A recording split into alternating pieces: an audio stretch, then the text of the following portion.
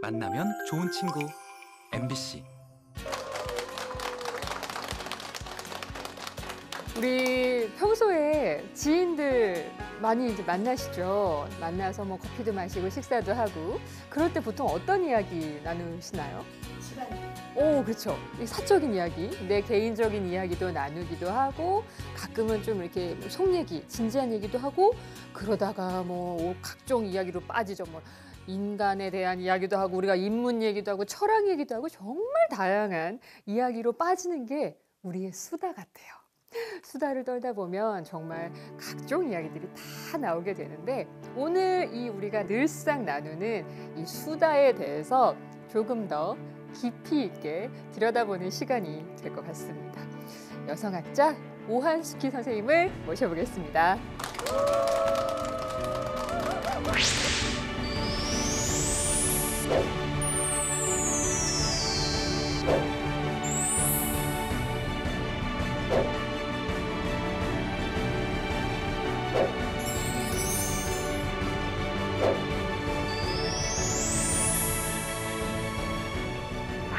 피자보다 더 맛있는 게 수다 한 판 아닐까요? 이제 어, 설 연휴 지나거나 또 명절 지나고 나면 어쨌든 일가 친척들 다 모였었고 그 안에서 벌어졌던 수많은 이야기와 일들을 놓고 또 이걸 해소하는 시간이 필요하잖아요. 그래서 그 후에 이제 여자들끼리 모여서 이런저런 얘기하는데 보통 우리가 그런 힘든 일이나 이런 걸 하고 났을 때 다 뭐라고 생각해요? 내가 이렇게 열심히 했으면 누군가가 알아주겠지. 그것도 한두 해가 아니라 결혼해서 10년, 20년 했으니 본 게 있으니 다 알아주겠지. 이렇게 생각하지 않으셨어요? 맞습니다. 예, 근데 알아주던가요? 당연하게 생각해. 그죠? 당연하게 생각하죠. 안 하는 게 죄인이죠. 근데 사람들이 이제 10년, 20년 지나고 나서 어, 나 그때 안 알아줘서 섭섭했고 이런 게 힘들었어라고 얘기하면 다들 뭐라 그래요? 그랬어? 아, 진작 말을 하지. 그때서야 아 말해야 아는 거구나.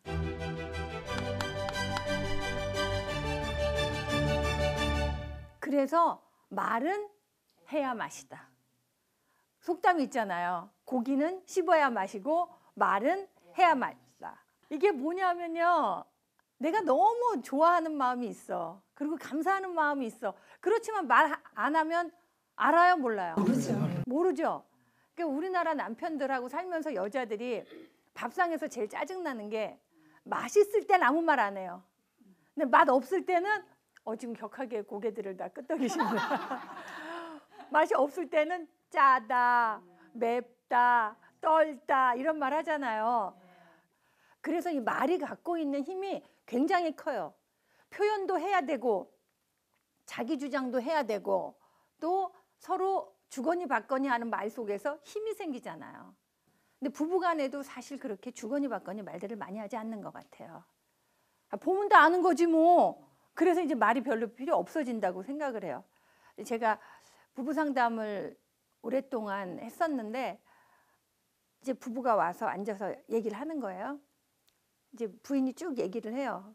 이쪽에서 한 15분 먼저 쭉 얘기하고 그거 끝난 다음에 15분 얘기하고 말이 끊어지지 않고 쭉 이러 길게 늘어지니까 사람들이 이걸 들으면서 그 안에서 자기 생각도 하게 되는 거야. 아, 이 사람이 이래서 이랬구나. 그래서 그 입장을 이해하게 되는 거예요. 그래서 한 번은 정말 부인이 한 15분 정도 쭉 얘기를 하고 났는데 남편이 벌떡 일어나는 거예요. 그래서 저는 남편들은 그런 상담 오면 내가 거기를 왜 가야 되냐. 그리고 그 상담해주는 사람도 여자니까 당신 편 들 거 아니냐. 내가 불리하다. 이렇게 생각해서 좀 거부감이 있으세요. 그래서 벌떡 일어나시길래 어, 이분이 이제 예 이게 결렬이구나. 화나서 가시는 거구나. 그랬더니 그게 아니었어요. 당신 정말 그것 때문에 그런 거였어? 그럼 그거 내가 안 하면 되잖아. 어, 안 하면 되잖아. 그럼 뭐 이- 어, 이거저거 따질 것도 없네. 가자. 그리고 둘이 가버렸어요. 진작 말을 하지. 예, 그리고 우리가 또 그런 얘기 많이 하죠. 아, 그럴 줄 알았으면 말이나 해볼 걸. 그래서 여러분이 이제 가장 중요하게 오늘 마음에 새기셔야 될 것은 말은 해야 맛이다. 말은 하고 볼 거다. 아시겠죠?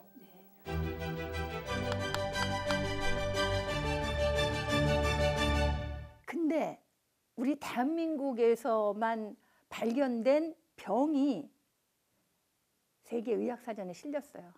화병. 오. 화병이에요. 근데 이 화병이 우리나라에서만 시작된 게 아니에요. 이솝우화에 보면 이발사 있죠. 임금님의 귀는 당나귀 귀라는 말을 못 해갖고 화병에 걸린 사람이 어떻게 고쳐요? 땅을 파고 그 안에다 대고 임금님 귀는 당나귀 귀다라고 소리친 다음에 병이 나았다는 거 아니에요. 그래서 정말 한의학에서는요 매핵기라는 병이 있대요. 네, 그게 뭐냐 매실 알맹이만한 것이 요 목에 딱 걸려 있는 것 같은 답답함인데 이거는 엑스레이에도 안 나오고 MRI를 찍어도 안 나와요. 근데 나는 미치겠어. 이게 목에 걸려가지고요. 그게 가슴 속에 맺힌 한들이 이제 화병이 돼서 보이지 않는 기류로 올라와서 증거 없지만 나는 느끼는 거예요. 그러니까 그게 이제 억울하고 답답하고 그럴 때 우리가 억울한 얘기를 누가 하는가 해야 되잖아요. 옛날에는 그걸 다 누가 해줬어요? 동네 신방이 해줬잖아요. 내가 네 속 안다. 특히 우리는 제주에선 또 뭐가 있어요? 속수머라이. 아, 속소마라. 그게- 그게 뭐예요? 사삼이잖아요, 사삼. 그러니까 이게 예, 제주 도민 전체의 화병인 거예요. 그래서 이제 이런 것들이 조금 조금씩 풀려나고 있으니까 그래도 좀 살맛이 나죠. 말은 해야 마시고 가슴 속에 화병은 말을 해야 풀어지는 거예요. 여기 화병 있다 하는 분 손 들어보세요. 조금씩은 다 있을 거예요. 그럼요. 화병 없는 사람이 어디 있어요? 나 오늘도 나한테 참았어요. 예. 제가 여자들하고 공부방을 했던 적이 있어요. 공주 모임이라고 공부하는 주부 모임. 그래서 이제 공주회를 꾸렸는데, 예, 공주회에서 돌아가면서 자기 별명을 하나씩 정하기로 했는데 굉장히 많은 별명을 들었는데 그 중에 지금도 제가 잊지 못하는 별명이 가스통이에요. 예, 그저 딱 일어나더니 폭발하고 싶은 여자 가스통입니다. 그래가지고요. 그, 그 다음부터는 여자들이 자기가 지었던 뭐 꽃 이름, 뭐 바람, 나뭇가지, 별, 뭐 이렇게 우아한 것들 다 지었을 거 아니에요. 그 가스 폭발로 다 날라갔어요. 여자들이 다 그래 나도 가스통 2다, 나 가스통 3. 너무 시원하죠. 이런 얘기만 나눠도 이런 게 수다의 힘이에요.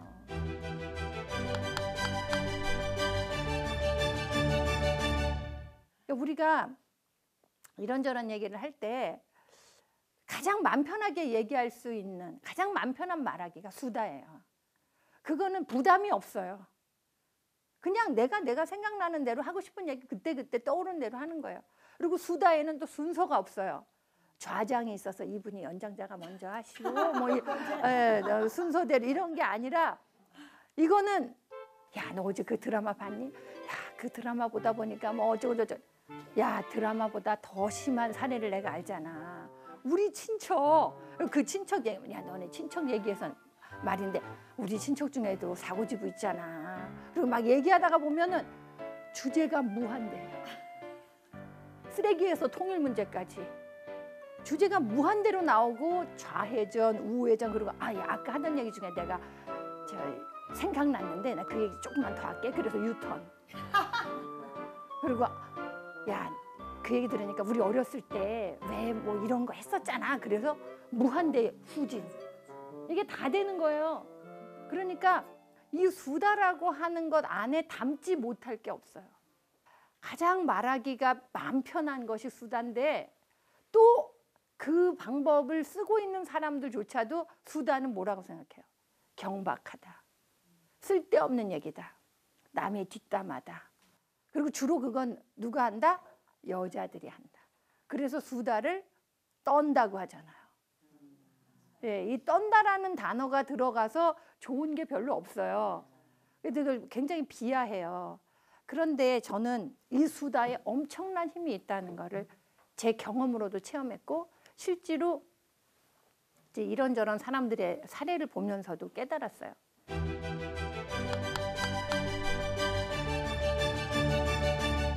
민간 항공기 조종사였어요. 그러니까 평생을 떠다니셨던 분이에요. 그래서 이제 퇴직을 하니까 어떻게 해야 돼요? 땅에 착지를 해야 되잖아요. 그 착지가 누구한테 착지해야 되는 거예요? 가정에. 아내와 자식들한테 착지를 해야 되는데 이들은 이분이 늘 떠 계셨기 때문에 자기들끼리만 착지가 돼 있고 이분 착지할 데가 없는 거예요. 그래서 이 양반이 아, 나는 정말 외롭다. 어떻게 내가 여기 뿌리 내리고 이 현장감 있게 가족 생활 할 수 있을 것인가 이걸 고민을 했는데 가만히 보니까 마누라가 한 달에 한 번씩 어디를 나가는데 그날은 발에 모타를 달린, 가 달린 것처럼 쌩쌩 돌면서 기분이 좋아가지고 나가더라는 거예요. 그래서 이제 물어봤대요. 당신 어디 가는 거야? 그랬더니 아, 우리 한 달에 한 번씩 여고 동창들 모임 있어. 그거 나가는 거야. 그래서 이제 조용히 부인한테 여보 나 거기 한번 따라가면 안 돼? 그랬더니 아니 부페에 도시락 지 참할 일 있어? 아니 내가 당신 왜 데리고 나가? 아유 그러고 친구들은 나 혼자 나오는데 당신 거기 혼자 앉아서 꼬다난 보리자루처럼 있어야 되고 나는 당신이 또 얼마나 신경 쓰일 거면 내 친구들은 친구 남편이 또 얼마나 불편하겠어. 그래서 이 부인이 딱 읽어에 자른 거예요. 여러분 같으면 어때요? 잘라줘. 잘라야죠. 그러니까 이 양반이 갔다가 온 다음에는 또 부인이 사- 기분이 좋아요. 야, 저게 정체가 뭐냐. 그래서 아, 당신 거기 모임에 오야가 누구야? 그 친목계 오야가 누구야? 그리고 물어봤더니 아니 뭐 누구 있어. 어떻게 알아가지고 그 부인한테 전화를 한 거예요. 내가 당신네 모임에 밥값을 쏘겠다. 그러니 나를 한번 초대해 달라. 아니 남의 남편이 밥 산다는데 말릴 여자가 누가 있어요? 그러니까 한마디로 콜 그래가지고 이제 가게 된 거예요. 근데 이 부인한테 친구들이 야 우리 연극을 보러 가자. 그날은 연극을 보고 연극이 끝나면 밥을 먹고 차를 마시자. 부인은 남편이 오는 걸 몰랐어. 그리고 연극 무대는 어때요? 불 다 끄고 깜깜하잖아요. 그래서 시컨 다 보고 불 다 켜진 다음에 남편을 보고 놀란 거예요, 여자가. 근데 온 걸 어떻게 해요? 영웅만 봤으니 당신은 가요. 그럴 수도 없고. 그래서 바로 그 근처에서 같이 밥을 먹게 됐어. 남편이 여보, 나는 밥을 먹을 때 외에는 입을 열지 않을 거야. 아무 걱정하지 마. 난 없다고 생각해. 그리고 그 남편도 무던하죠. 이제 앉아가지고 밥을 먹는데 이 남편이 얘기를 들으니까 이게 너무 재밌는 거예요.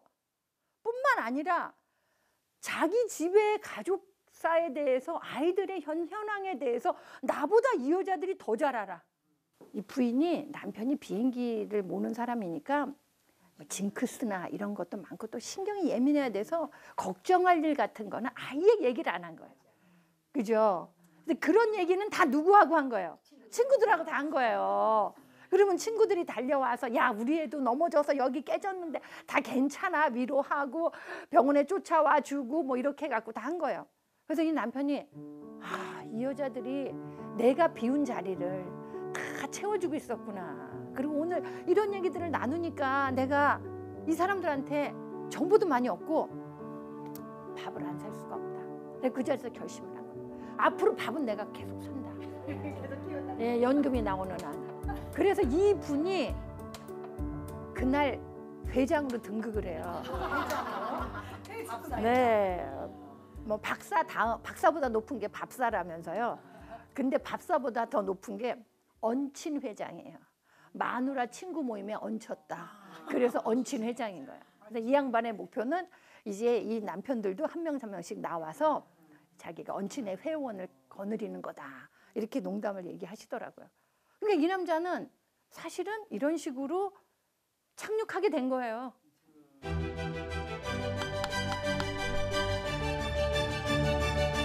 그리고 또 여자들이 얘기 좀 하다 보면 무르익었을 무렵에 어때요? 아유 야 해산 밥 해야 된다. 그게 다 흩어지잖아요. 그러니까 다 뭐라고 생각해? 아야 우리도 언제 1박 2일 그죠?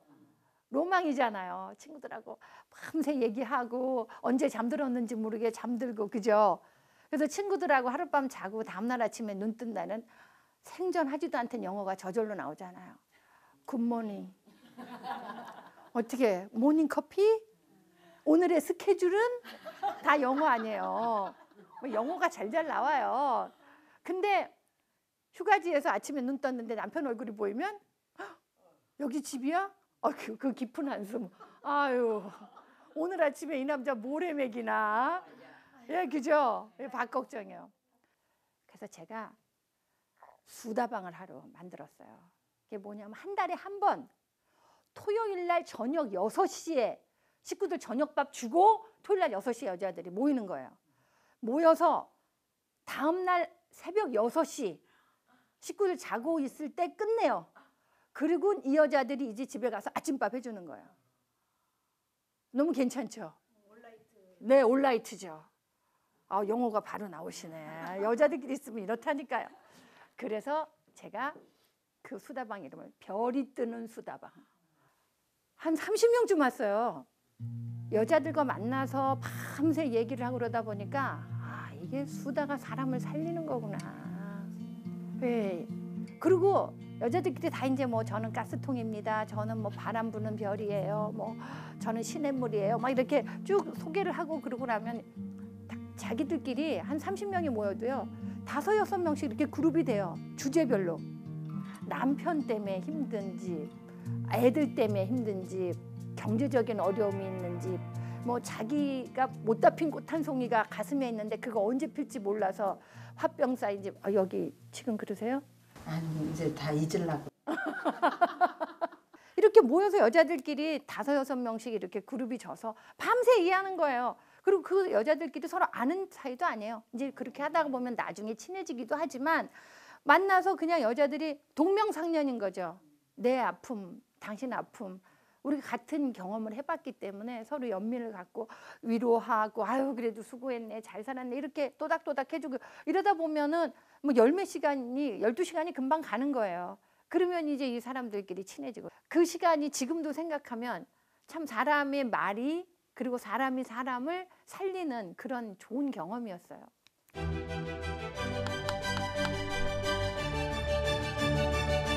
이 사람들이 그 수다를 통해서 어떻게 자신들이 화병을 극복하고 밝은 마음을 갖고 성장하는가 이걸 보니까 여기에도 5단계가 있더라고요. 첫째는 억압의 단계예요. 절대 자기 얘기 안 해요. 누워서 침 뱉기지 뭐. 뭐 그런 집에 시집간 내가 내 잘못이지 뭐 누구 탓을 해 이러면서 억압하는 단계. 근데 두 번째는 왜곡의 단계예요. 왜곡의 단계는 진짜 자기의 불만은 참으면서 엉뚱한데 폭발하는 거야. 그러니까 가족들이 가사노동을 분담하지 않는 것 때문에 늘 불만이었어. 내가 혼자 이걸 다 해야 되나? 늘어놓는 사람 따로 치우는 사람 따로 이 일은 끝도 없구나. 그죠? 계속 그게 억압되다 보면 어느 순간에 엉뚱하게 폭발하는 거죠. 갑자기 양말 한 짝 떨어진 거 보고 내가 이놈의 집구석은 참을 수가 없다. 이 집의 유전자는 어떻게 양말 한 짝을 제대로 빨래통에 넣는 꼴을 못 보냐. 당신 집안 식구들부터 해서 시숙이 옛날에 뭐 어쩌고 이거 다 나오는 거예요. 그죠? 그럼 양말 하나 갖고 그것까지 다 나와? 이게 왜 그래요? 왜곡돼 있는 거예요. 내가 풀어야 될 걸 못 푸니까 엉뚱한 방향에서 이제 폭발하는 거죠. 그리고 나서 이제 세 번째 단계가 울음을 동반하는 거예요. 울면서 이제 자기 얘기하기 시작하는 거예요. 내가 이것 때문에 속상했고, 그죠? 그런 경험들 다 있잖아요. 왜 말을 하려고 그러면 눈물부터 나는지 모르겠어. 왜요? 막 억울했던 게 그게 왜 그러냐면요. 얼음이 녹을 때 어때요? 물이 생기잖아요. 여기 꽉 맺혀 있었던 게 이제 풀려고 하면 예, 이게 영혼의 해빙기에 나오는 물인 거예요. 그래서 이제 울어요. 울면서 이런 얘기를 하는 거죠. 이제 그러다가 보면 사람들이 아, 당신 그렇게 힘들었구나. 이러면서 소통하기 시작해요. 이 소통의 단계는 내 앞에서 내가 하는 말에 고개 끄덕여 주는 사람 한 명만 있어도 자살하려던 마음에서 돌아선대요. 참 이거 어떻게 보면 숭고한 얘기지만 어떻게 보면 무서운 얘기예요. 내가 왜내 주변 사람 누구 하나한테 이렇게 소통해 주는 그래서 그가 어려울 때 다시 마음을 돌릴 수 있는 역할을 해줄 수 있는데 내가 그거를 못 하고 있었던 건 아닌가? 그래서 어, 가까운 사람이 정말 극단적인 선택을 했다는 소식을 들었을 때 자기 핸드폰에 그의 전화가 전에 찍혀 있, 있거나 부재중으로 그래서 잘 봐야 돼요. 문자, 톡 이런 거요. 부재중 전화 자기 전에 한 번 확인해서 내가 놓친 사람은 없나 이런 거 꼭 봐야 돼요. 그리고 나서 이제 이게 소통이 되고 나면 그 다음에는 연대의 단계가 와요. 소통된 사람들끼리 서로 예 손잡아서 우정이 생기고 그 사람들끼리 어떤 변화를 만들어내려는 시도와 노력을 하게 되는 거예요. 우리가 이제 수다에 대해서 나쁘게 생각하는 경우도 있고 또 정말 수다 때문에 그 안에서 상처받은 사람들도 있고 그래요. 그런데 저는 우리가 정말 말하는 것이 중요한 것이고 말을 하기에 가장 마음 편한 방법이 수다라면 우리가 요거 수다도 좀 발달시키는 발전되는 방향으로 나가야 된다. 그래서 수다의 발달 5단계를 말씀드린 거예요.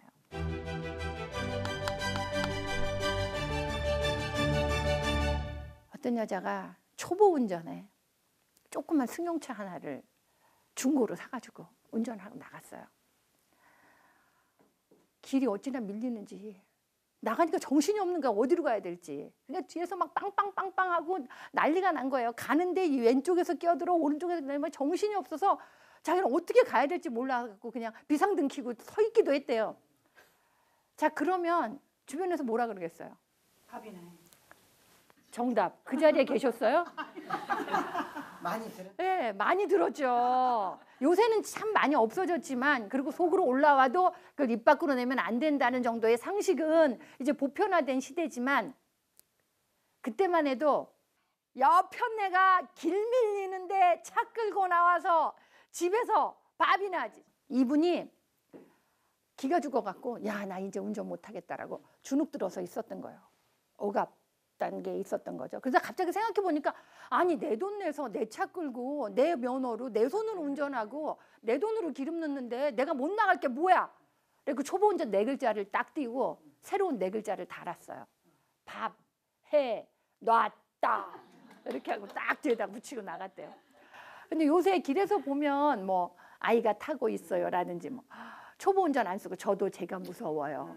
뭐 다- 당신도 초보였어요. 뭐 이런 거 막 써붙이잖아요. 그럼 사람들이 그거 보면서 아유 저 초보 운전 이럴 걸 그가 뭐라고 써놓은 걸 보고 빵 터지잖아요. 그러니까 개인적인 것은 사회적인 것이다라는 말이 있어요. 그게 뭐냐면 내가 느낀 것은 나만 느낀 게 아니라 나와 비슷한 처지와 상황에 있는 사람들은 다 느끼는 거다라는 뜻이에요. 그래서 이분이 밥해 놨다라는 초보 운전 대신 쓴 말을 붙여놓고 그걸 본 사람들은 함부로 밥이나 하지 이런 얘기 못 하잖아요. 이만큼 뭐가 온 거예요? 사회 인식의 변화를 가져온 거예요. 그래서 저는 우리가 이런 걸 참지 말고 발설할 때 사회적인 공감대가 형성되고 변화가 온다는 거예요. 그게 제가 말씀드린 수다의 5단계 중에서 다섯 번째 최고봉. 우리가 연대해서 변화를 가져올 수 있다.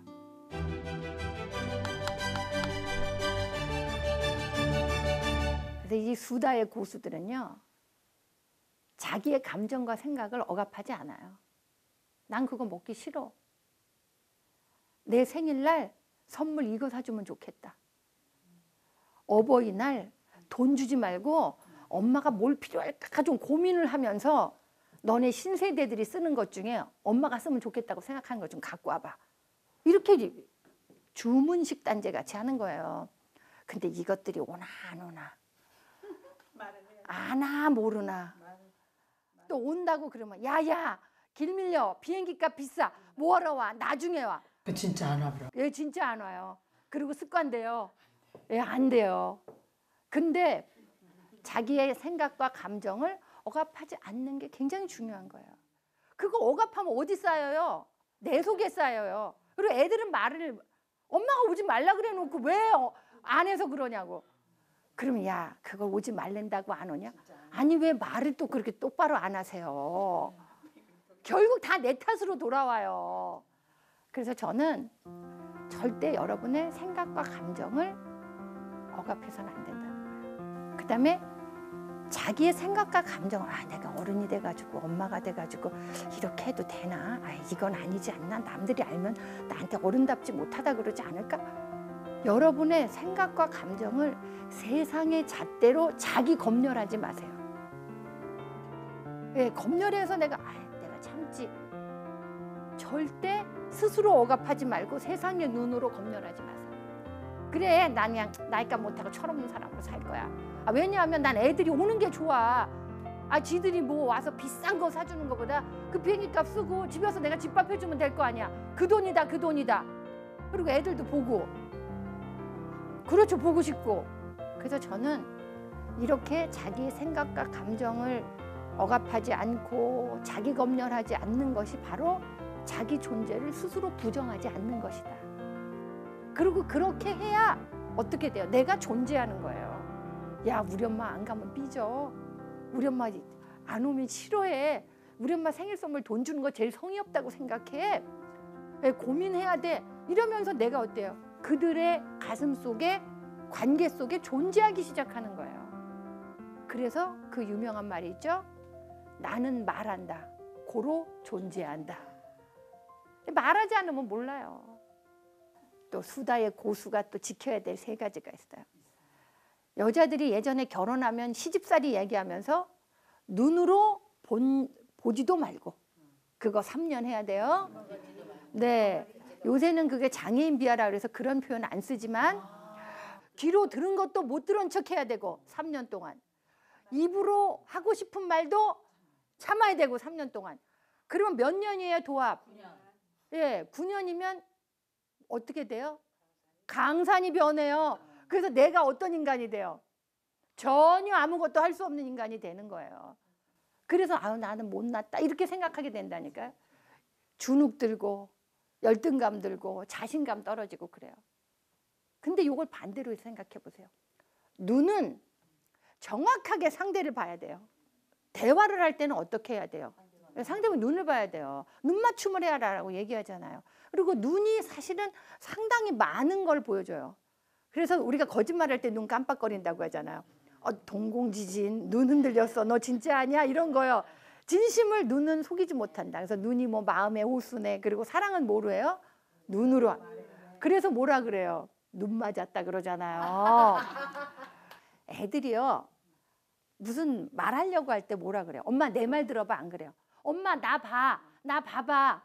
그래서 자기한테 시선이 고정된 다음에 말해요. 그러니까 애들은 아는 거예요, 본능적으로. 눈이 안 오면 대화의 시작이 안 된다는 걸 아는 거예요. 근데 우리는 어때요? 살면서 바쁘니까 말해! 다 들어! 설거지 하면서 핸드폰 하면서 엄마 귀 두 개야? 핸드폰 하고 너 말하는 거 다 들어. 그거 아니에요.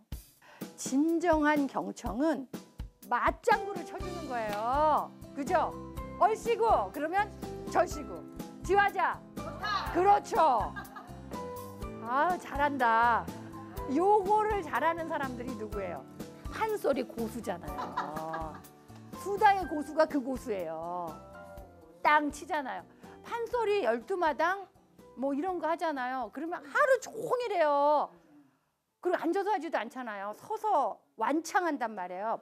근데 그 완창할 때 고수 없이는 못 한다는 거예요. 그래서 이 판소리계에서 일고수 이명창 고수 하나가 명창 둘을 키운다는 거예요. 그러니까 아이고 잘한다. 그렇지. 이걸 계속 해주잖아요. 뚱땅 이렇게요. 그러니까 이분들이 그거에 힘을 입어서 같이 가는 거예요. 눈으로는 집중해줘야 되고 귀로는 예 맞장구 쳐줘야 되고 입으로는 네 마이웨이를 해야 돼요. 입은 마이웨이를 해야 되는 거예요. 이게 무슨 뜻이에요? 내 얘기를 해야 된다는 거예요. 내 감정, 내 생각을 정확하게 얘기해야 되는 거예요.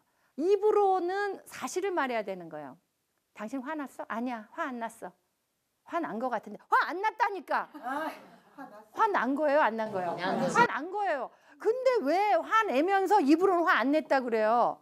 그리고 남자들한테 뭐라 그래요? 눈치가 없어. 말귀를 못 알아들어. 그럼 남자들은 뭐라 그래요? 아, 여자들은 복잡해. 아, 뭐 그렇게 신경을 쓰고 물론 사회적으로 여자들을 억압한 것도 있죠. 그래서 입은 항상 way. 눈은 맞춰야 되고 귀는 맞장구 쳐야 되고 입은 way. 내 길은 이거다. 나는 이렇다.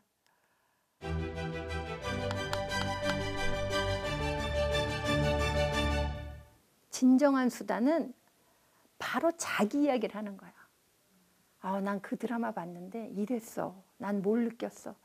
나는 그때 그 사람들의 얘기를 들으면서 무슨 생각이 났어. 내 경험 중에는. 그래서 나라는 주제, 나라고 하는 주체, 이게 빠진 얘기는 진정한 의미에선 수다가 아니에요. 흉보기를 예를 들어 볼까? 내가 누구를 흉을 봐요. 그 흉을 보는 거에는 뭐예요? 내 마음에 이게 걸려 있는 거야. 그 일이 있었던 것 때문에. 그래서 흉보기를 통해서 어때요? 털어내기를 하는 거예요. 흉 안 보고 있으면 볼 때마다 막 거슬리는데 흉 봤단 말이에요. 그럼 아, 내가 제 예전에 흉 봤는데 좀 미안하네 이런 생각이 들어요. 그것도 내가 이걸 풀었기 때문에 미안하단 마음이 들어오는 거예요. 그래서 이게 털어내기의 효과가 있어요. 그리고 또 하나는 반면교사. 나는 그러지 말아야지. 그래서 어떤 일이든지 그걸 놓고 자기라고 하는 주체를 빼놓고 생각하면 이건 진정한 의미의 수다가 아니에요. 우리가 모여서 남 얘기만 시커나고 헤어지면 어때요? 엄청 허전해요. 그리고 아, 이 모임은 화장실 가면 안 되겠다. 빠지는 순간 바로 내가 도마에 오르겠구나. 그래서 우리가 그런 얘기할 때 나는 이렇게 느꼈다. 나는 이렇게 생각한다. 이게 진정한 수다예요. 뭘 할 때, 아, 난 이렇게 느꼈어. 나는 그렇게 느꼈어. 그럼 그 느낌은 뭐예요? 이 사람 입장에서는 정답이에요. 넌 왜 그걸 그렇게 느꼈어가 아니라 나는 그렇게 느꼈어. 근데 저는 이 수다에 있어서 남자들은 피해자라는 생각이 들어요. 남자는 과묵해야 된다. 남자가 말이 많으면 안 된다. 그래서 남자들이 자기 얘기를 안 해요.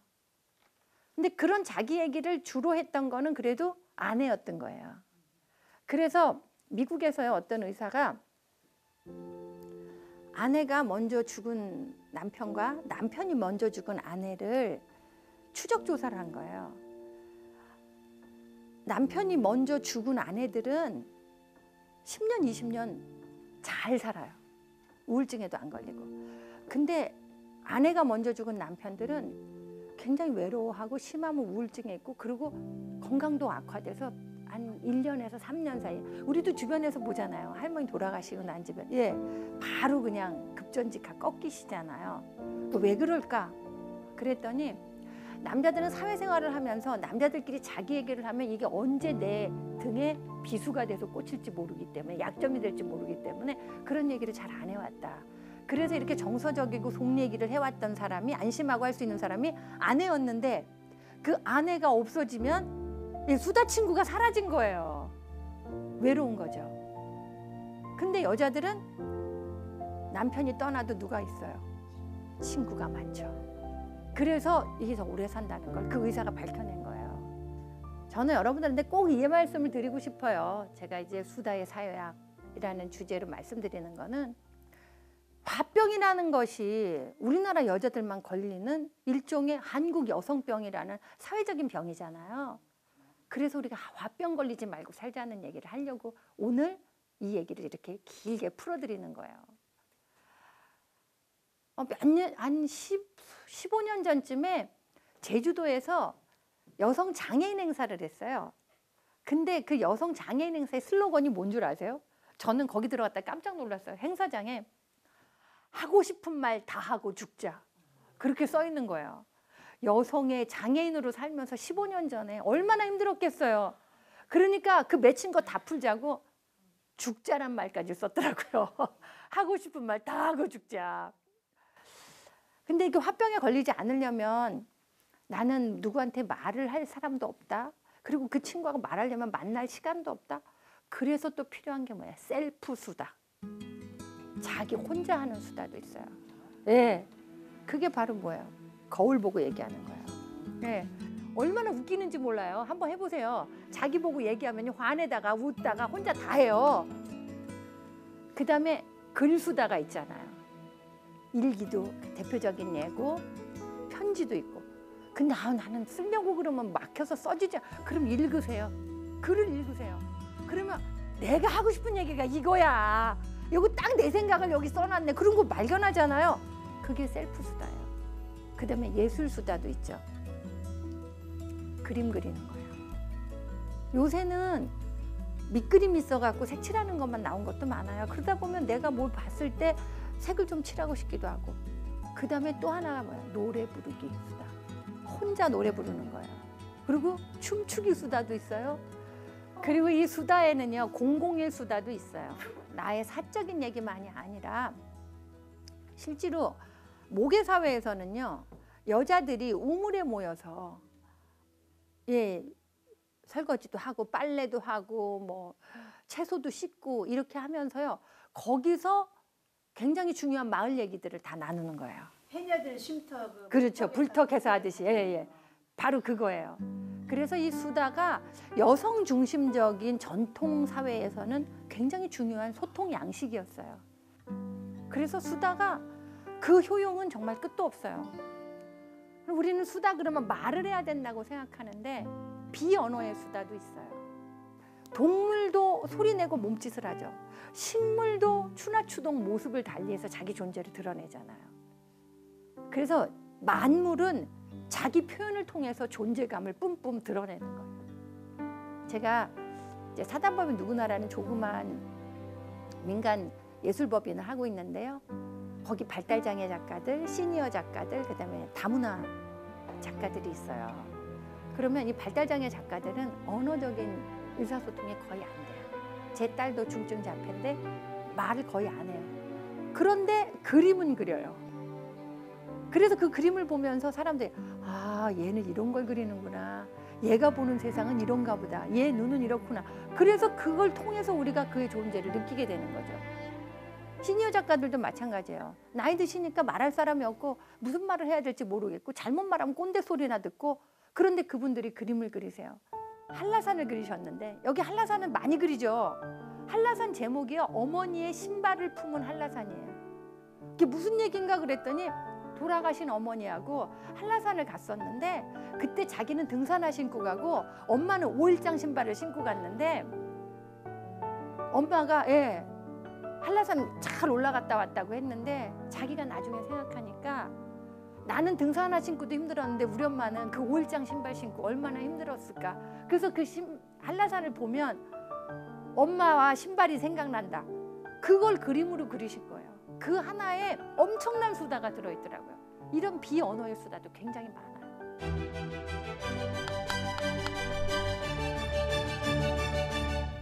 우리가 수다의 힘을 분명히 알고 살아야 된다. 첫째, 수다는 속이 시원하다. 둘째, 정보가 많다. 언친해. 아까 얘기 드린 것처럼 정보가 많다. 그 다음에 나를 구하고 타인을 구하고 관계를 구하는 힘이 있다. 더 나아가서 세상을 구하는 힘이 있는 거예요. 야, 이 세상이 이렇게 되면 되겠냐? 내가 이번에 뭘 어떻게 했더니 야, 어디 가보니까 뭐 노인들을 위해서 뭐 이런 거 저런 거 했던데 우리나라도 뭐 이렇게 하면 좋겠다. 이런 거 내가 개인적으로 느끼는 것들이 아까 말씀드렸죠. 개인적인 것은 사회적인 것이다. 그리고 그것을 해결하려는 연대체들의 노력, 변화를 추구하려고 하는 우리의 합심 이런 게 정치라는 거죠. 제가 아까 여러분한테 얘기 시작할 때 뭐라 그랬어요? 피자 한 판보다 수다 한 판이 더 맛있고 영양가가 많다고 그랬잖아요. 저는 요새는 이제 글로벌 수다라는 걸 알게 됐어요. 글로벌 수다는 뭐냐면요. 줌으로 하는 수다예요. 전 세계에 있는 사람들하고 줌으로 만나서 수다를 하는 거예요.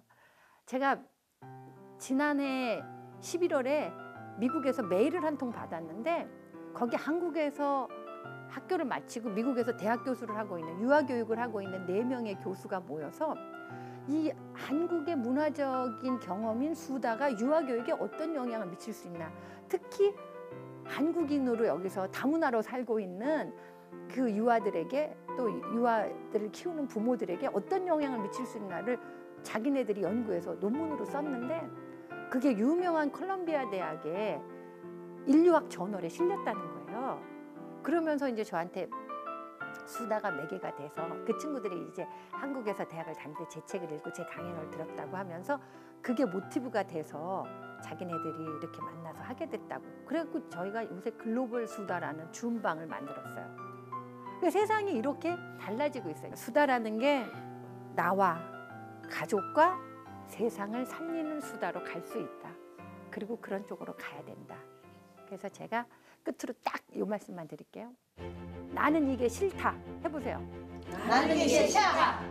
내가 원하는 건 이거다. 내가 원하는 건 이거다. 그렇죠. 그래서 고로 나는 존재할 수 있는 거예요. 그 다음에 우리가 국민의 입장에서는 우리는 이게 싫다. 우리는 이걸 원한다. 그래서 결국 우리는 예, 국민으로 존재할 수 있는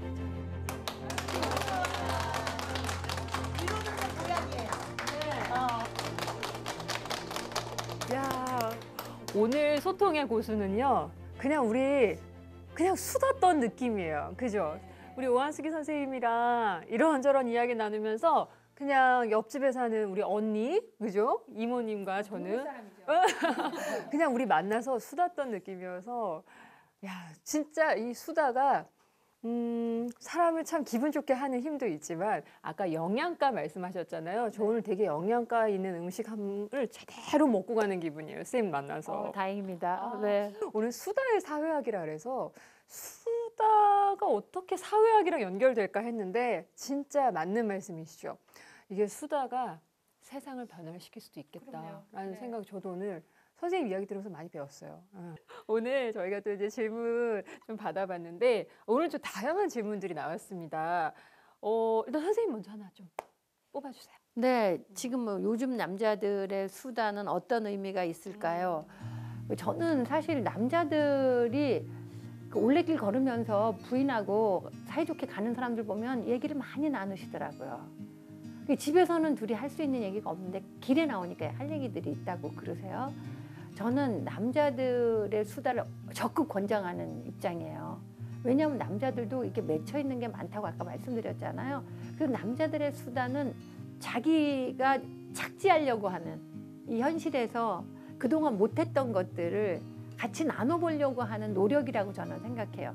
아우 우리 남편 이렇게 말이 많아졌는지 몰라 이런 게 아니라 우리 남편이 이제는 서로 소통하려고 노력해 이 사람도 애쓰는구나 좀 그렇게 받아들여줬으면 좋겠고 남자들은 잔소리하면 안 돼요. 예, 뭘 말을 하는데 소통한다고 하는데 방법이 잔소리면은 싫잖아요. 그러니까 무조건 좋은 얘기만 해야 되는 거예요. 그러자면 집에 있으면 안 돼요. 밖에 나와야 돼요.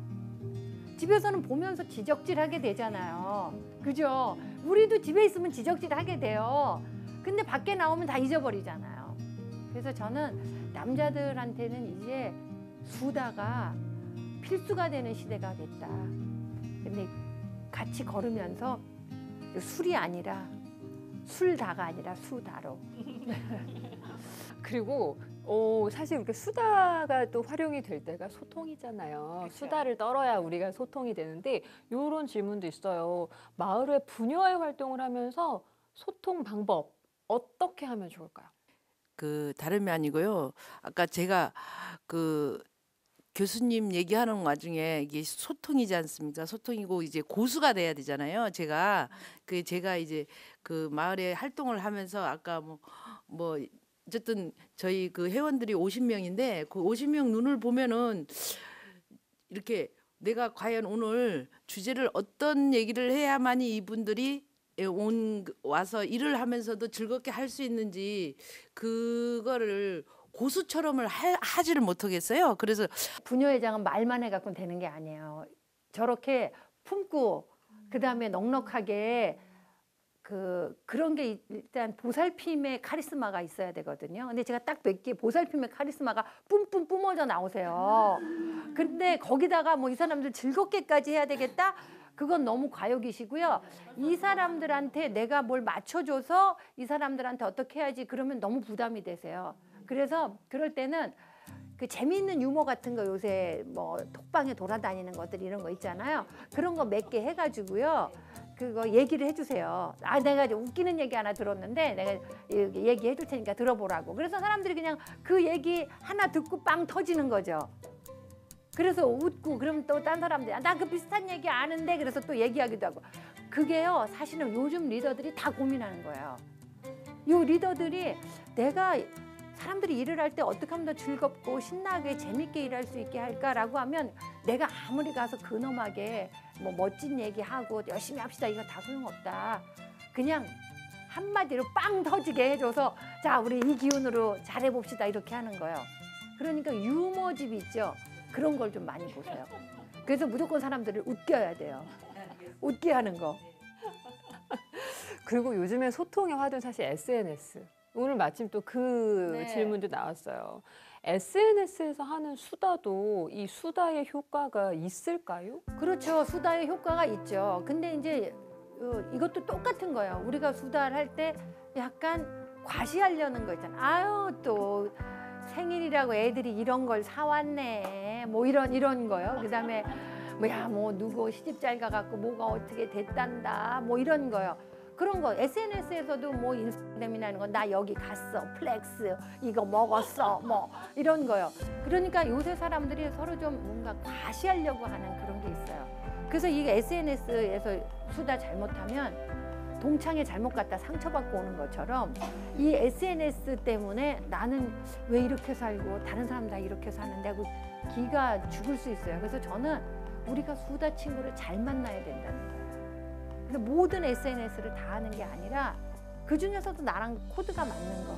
아, 내가 이걸 받으면 나도 힘이 나는 거. 그런 것만 택해서 하는 거죠. 그래요. 오늘 저 선생님 말씀 되게 공감이 많이 가는. 요즘엔 다 좋은 것만 많이 올리니까 남들은 다 행복해 보이는데 나만 좀 불행해 보이는 게 약간 이게 역기능이었는데 그 그런 걸 좀 이렇게 뭐 의도적으로 좀 하고 내 마음과 비슷한 그냥 그런 것도 좀 나는 이과는 아니야. 어, 그래서 어, 어, 뭐 요새 인싸, 아싸 그러잖아요. 자발적 아싸가 될 필요가 있어요. 예, 아싸 이렇게 하는 거죠. 그리고 우리 하나만 더 해볼까요? 저는 마지막으로 요거 어. 아니 지금 요 부분만 빼놓는 것 같잖아요. 인생은 무엇인가요인데요. 저는 인생은 나누는 거라고 생각해요. 뭐 젊어서는 철학책도 있고 종교서적도 있고 고민이 많았는데 지금 딱 생각해 보면 지금 바로 옆에 내 옆에 있는 이 사람하고 뭔가를 나누는 게 인생이다. 그냥 아 반가웠어요. 오늘 수고하셨어요. 이런 말 한마디. 그 순간순간들의 누적이 인생이잖아요. 제가 아까 그 춤을 더 많이 추겠다라고 임종행을 맞는 분들이 얘기했다는 건데 그 두 번째가 모든 사람에게 친절하지 못했던 것. 그게 아쉬웠다. 왜냐하면 말 부주라는 게 있잖아요. 예, 말로 부주해 줄 수 있는데 그거 못했다는 거예요. 그렇죠? 그냥 말 부주 한 번씩 날려주세요. 지금. 아유 잘하셨어요.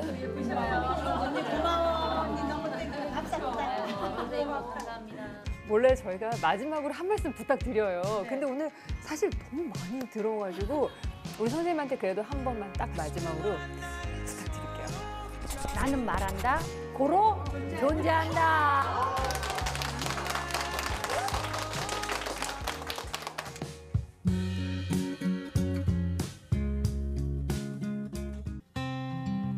Forever could never be long enough for me to feel like I've had long enough with you.